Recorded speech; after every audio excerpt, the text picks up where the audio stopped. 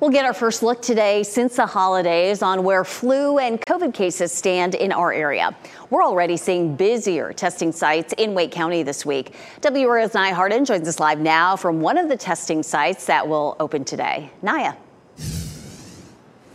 Yeah, this testing site is going to open this afternoon, and we expect to see a line out here of cars as we have been already seeing in several different locations. And that's because doctors say today's new update will be a snapshot of the effects of the holiday season, and new data will also help hospitals prepare for the weeks ahead.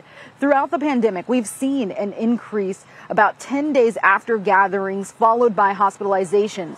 The most recent virus data, which doesn't cover the holidays, does show cases are already up in some areas. UNC reported more than 300 COVID positive patients compared to 80 a month ago. Duke Health says flu and RSV, as well as other respiratory viruses, are trending downward, but COVID took a sharp increase. Wake County says more testing sites will be opening, and they're working with Mako Medical and Optum. The messaging is that COVID is not over, the flu is not over.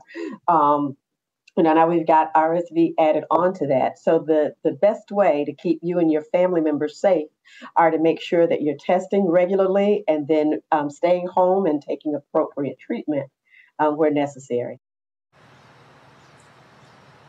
And you can visit the WRAL News app to find out where your closest testing site is. And we also will have an update on that new data in our later newscast. Nia Harden, WRAL News in Raleigh.